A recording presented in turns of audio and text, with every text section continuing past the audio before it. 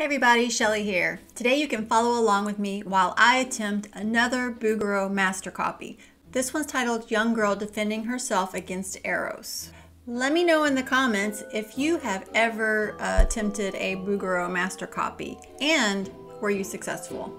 Bouguereau is a master at painting flesh. His transitions are so subtle, yet he's able to capture the volume of his subjects so beautifully.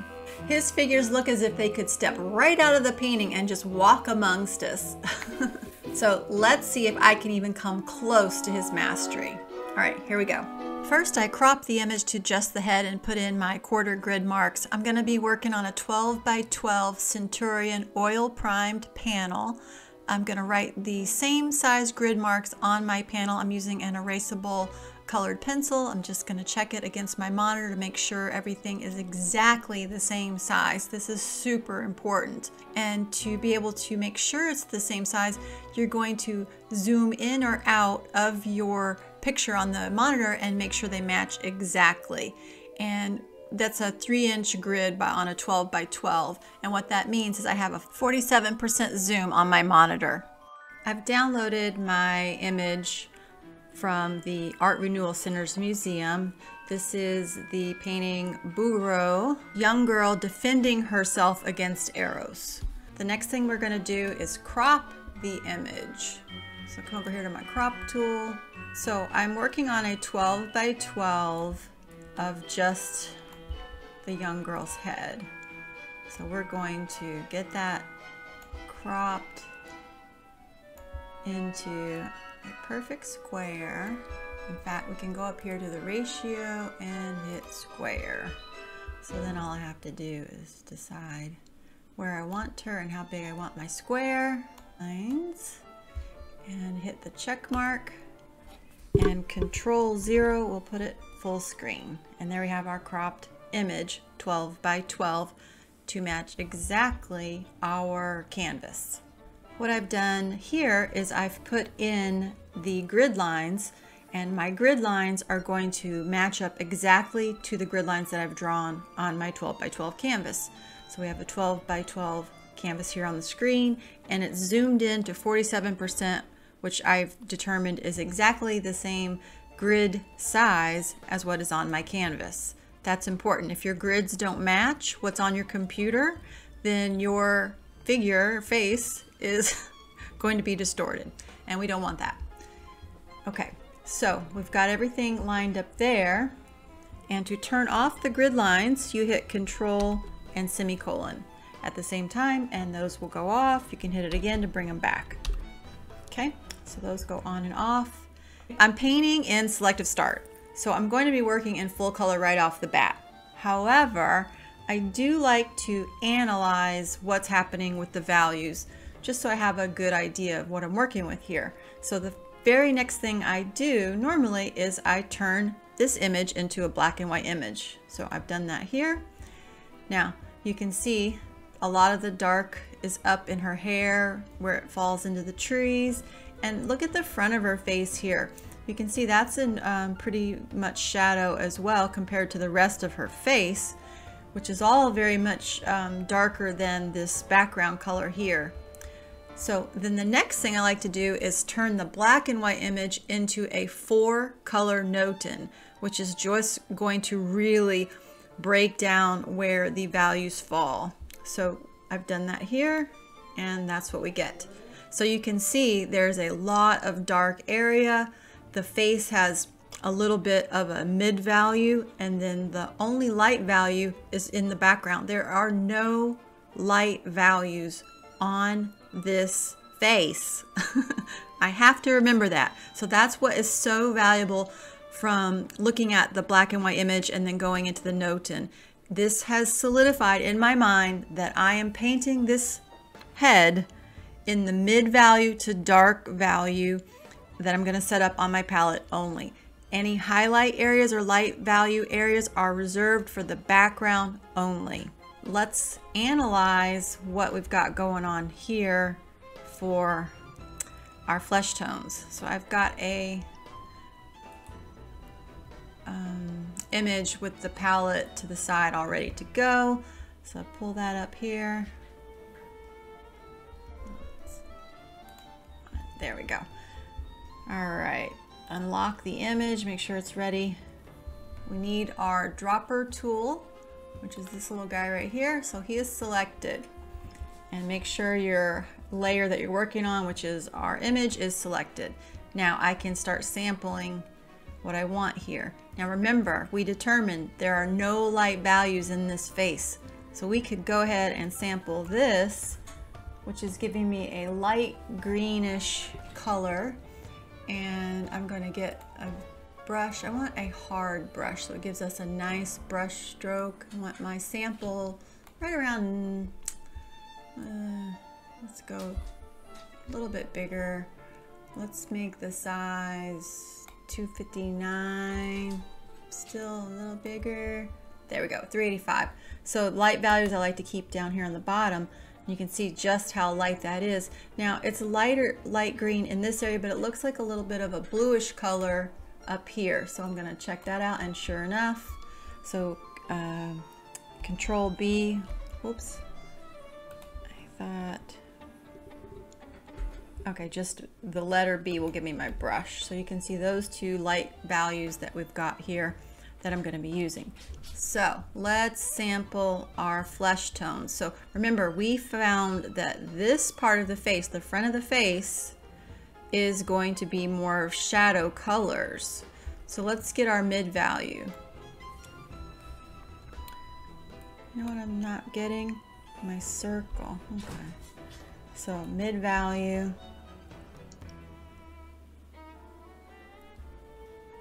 Hold on, something's off. What's happening? Oh, my opacity was too low.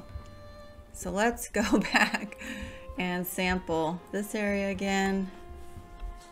Put him there. Okay, that's making more sense. This area again. And there.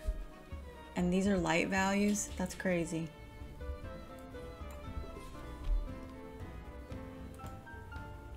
That doesn't look right. It is though. Holy cow.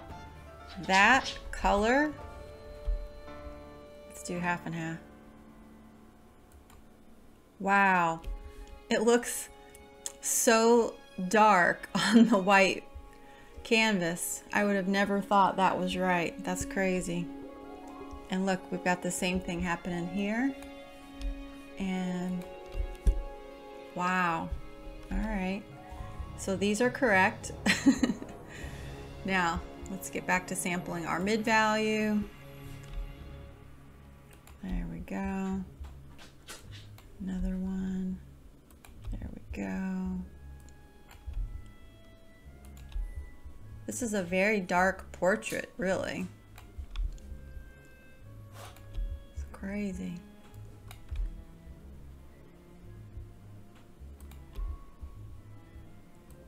So it looks like there's more light in the back of her neck and shoulder area.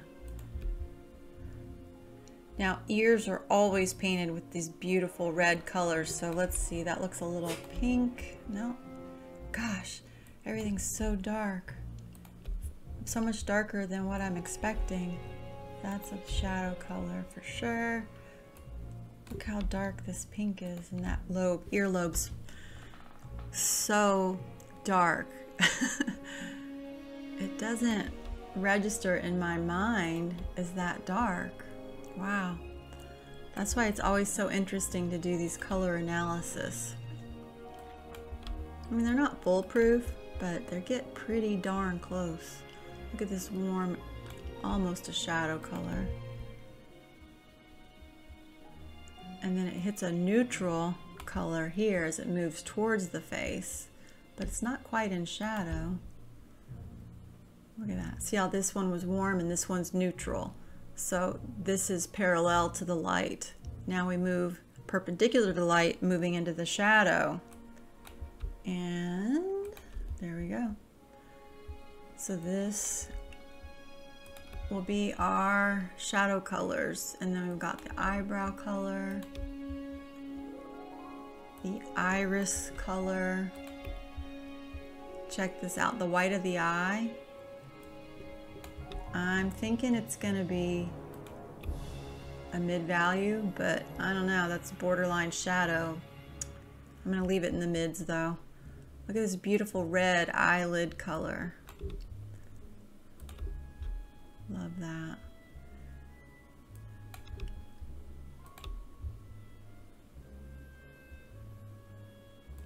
Tip of her nose even. It gets a little bit lighter. There could be some light rolling around onto that part.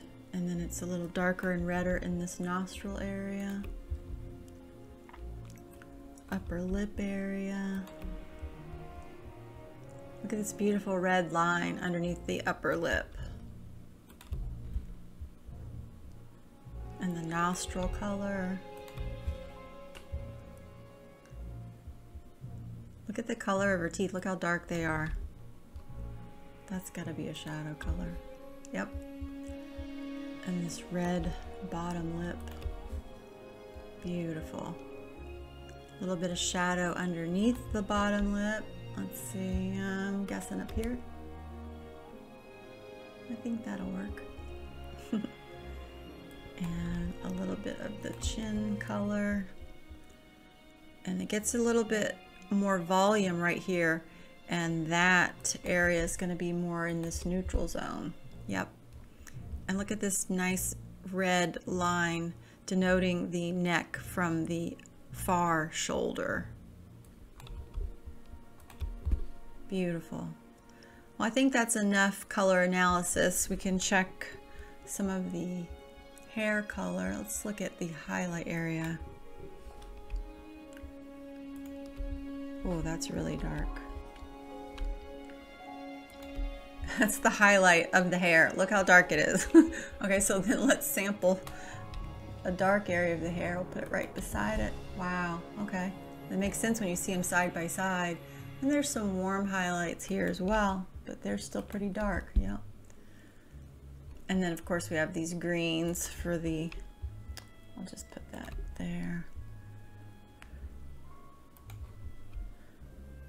A little bit of that tree line behind her.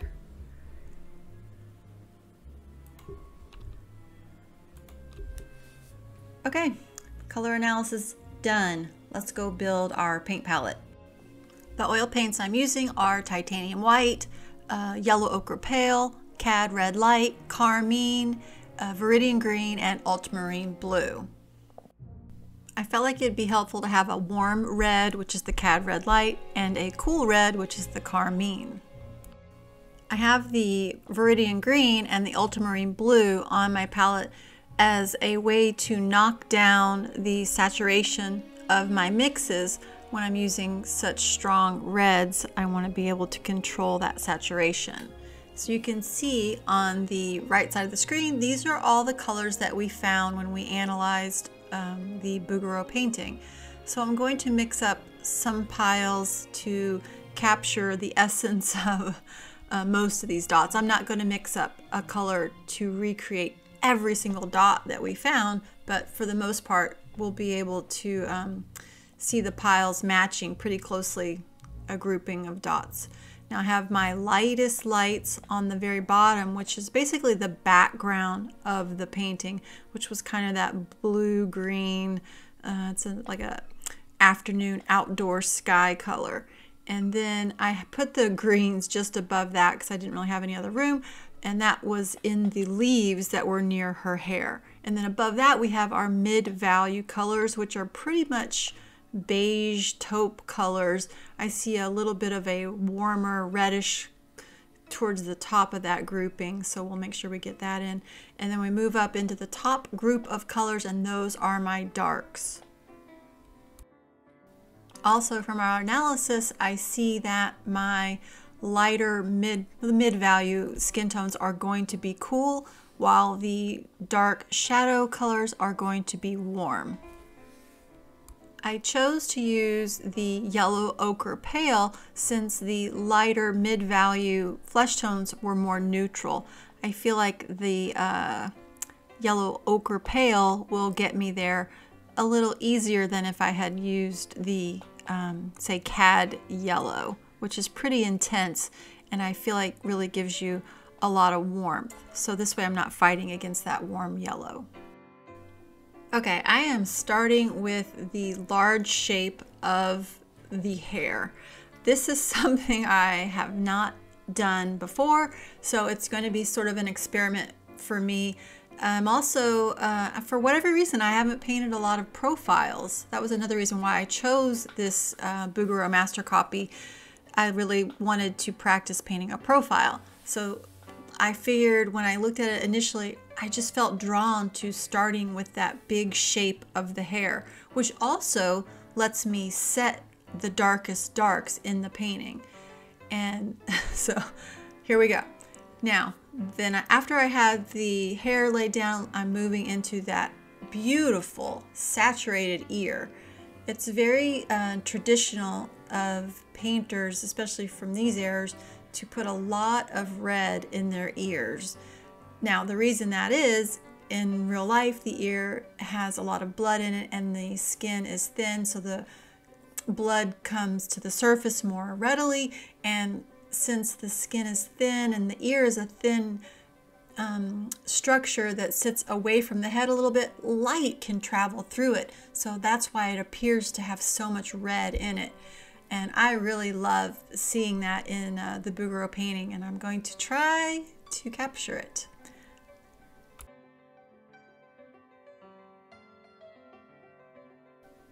So notice that I switched to a smaller brush for putting in the smaller structures, these little puzzle pieces that make up this gorgeous red ear. So these mid-value flesh colors appear to be kind of greenish. So I'm going to see if I can't balance that out with a little bit more red pulled into those areas. So you'll see I do some mixing on the palette, but also I'm doing some optical mixing right on the panel as I paint. And here I'm using this comber brush because it's going to allow me to interlock the brush marks as I lay down these flesh tones. It'll help me to mix them together. It'll help create really soft transitions. And I just love the effect of that uh, comber brush, especially when painting large areas of flesh. Now I'm doing some measuring with my proportion tool. Hey, if you don't have one and you've been looking for one, there is a link to the proportion tool in my description. It'll take you right to Amazon where you can grab one.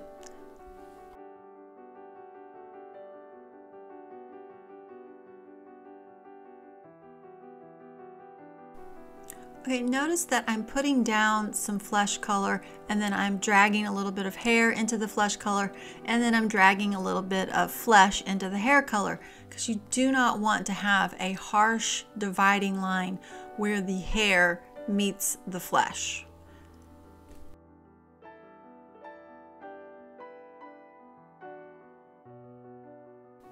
So I like to work on the ear and then come away from it a little bit and get into some of that shoulder and neck area and then go back into the ear, maybe play with the hair a little bit and then go back to the ear because even though it's a small structure, there are a lot of tiny little puzzle pieces, if you will, that make this um, structure up.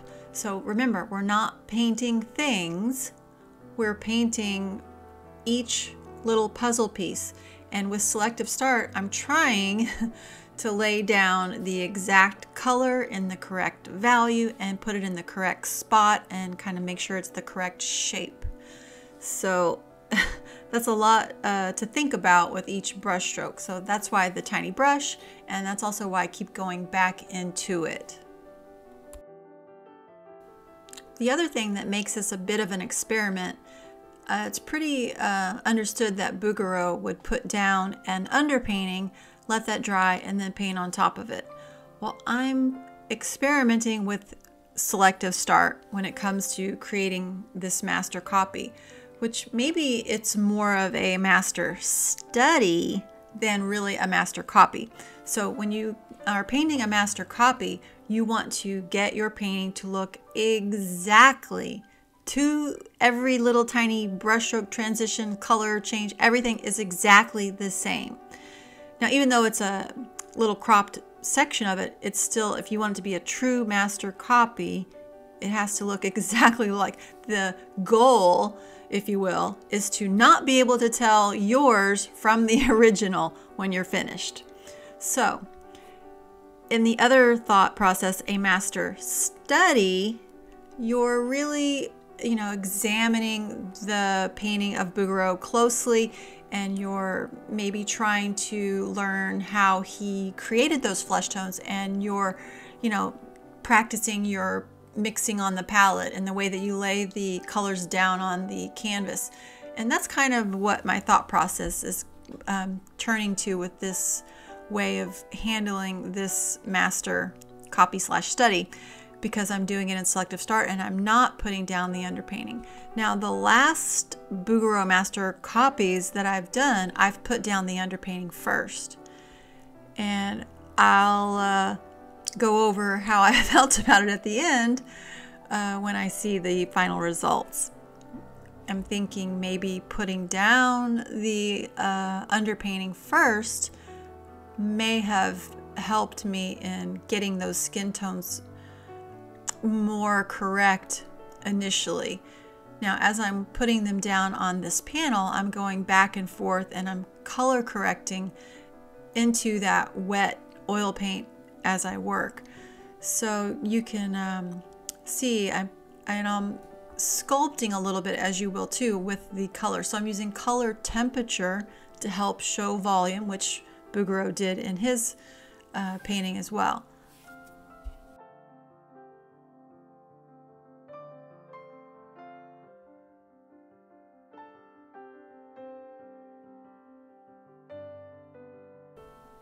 One of the things that I enjoyed about painting the profile is being able to carve out that profile using some of the background color.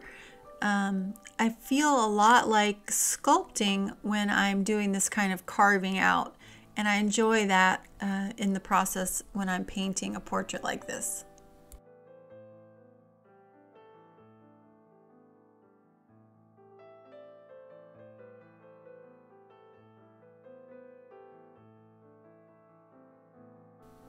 So you'll see I went ahead and painted in the neck, the width of the neck, and then now I'm checking it because it's visually looking off to me a little bit, but I wanted to see how close I could get before actually like totally measuring it out.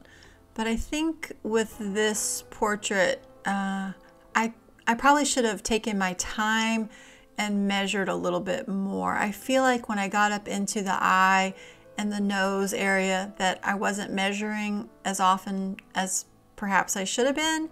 And I think the, um, the results ended up a little bit off. But you'll be the judge of that. so take a look at my paint palette. You can see how the initial puddles of paint have kind of melded together a little bit and then other colors have been mixed in and they're they've been altered a little bit and that's just how it goes when I'm working and I have put down the initial colors. If you look at my palette to start before I'm painting and compare it to my final palette, uh, they usually uh, have a lot of new colors on them when I'm finished. And that's perfectly normal and okay.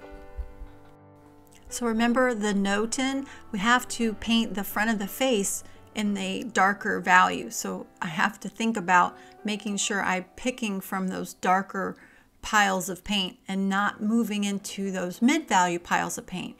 And when I'm doing the front of the face, the lips, the mouth, the nose, and into the eyes, it's hard for my brain to wrap around the idea of painting that from my dark piles of paint. So I'm working a little bit lighter, I feel like, and darkening up once that I feel like the structure is sound and in a good spot. I didn't want to just jump right in there with heavy dark paint and then try to move that around if the structure wasn't in the right place. So that's my thought process on that, but I have to remember to make it dark. I have a feeling that um, I may not make it as dark as I'm supposed to, but at the end we'll find out. I think also that putting the dark mass of hair down first is good in this sense because having that dark area to play against the darkness of the front of the face is going to make it a little less uh, intense for me.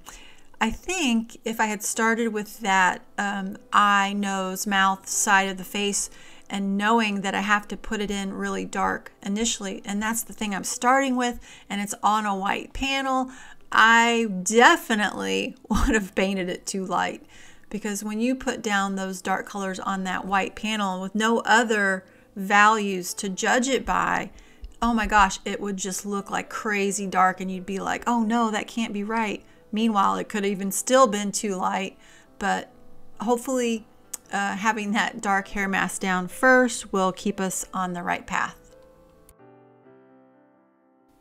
So I'm back into the ear and I'm definitely trying to make sure that that earlobe top part where the hair kind of butts up against it isn't painted with a harsh line. Now in Bouguereau's, the line is very soft. The transitions are close in value and I'm just trying to get that transition there correct. So I keep coming back to it and working through some of the uh, transitions. And the other thing I'm reminding myself with these transitions is not to just blend two colors together and meet them in the middle. That just makes your painting look flat and muddy. If you can take paint color and step towards the other transition using different colors of paint, you're going to have a more successful painting in the end and better transitions. I highly doubt Bouguereau just blended from a dark value towards a lighter value and blended the two together. I am pretty certain that he used color stepping, say, from a dark color towards a light color, and the steps of color in between were carefully thought out. So if you were in a warm shadow area stepping towards a light, as you're stepping, each color would get a little bit lighter, a little less warm. You'd finally get to a neutral color in the middle, and then you'd be in your cool, lighter value colors as you get into the light side of that transition. I like to think of it as walking, and with each step, I'm putting down a different color footstep where eventually I will get to the final destination. okay, I'm starting to put in some of the eye and I wanted to get a little bit of that reddish flesh color down before I started putting um, the structure of the eye in. Now that's not something typically done with selective start, but in this case I felt like I needed that base of flesh color to build my eye upon. Also having a little bit of flesh paint down. If something's not in the correct spot, I can more easily move it than if I had just started painting the detail structure of the eye onto the white panel. So that's why I did it. Besides, remember what we say, you are the master of your painting. There are no rules when it comes to making your art. You're going to make it how you want to do it, and you hopefully will get the results at the end that you are looking for. And that is what matters.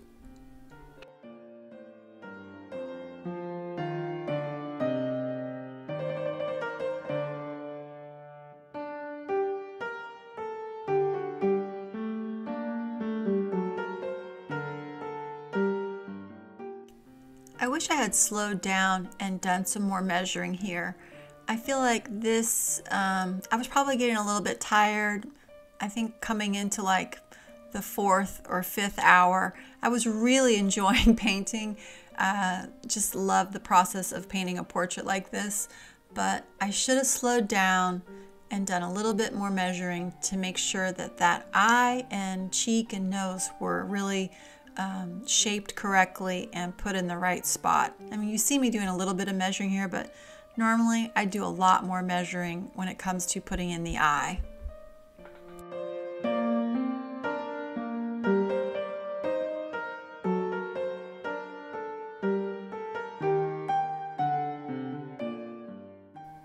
You may have noticed on my palette and in my painting how the flesh tones, especially those mid-value flesh tones, have warmed up and gone away from that greenish start that we had.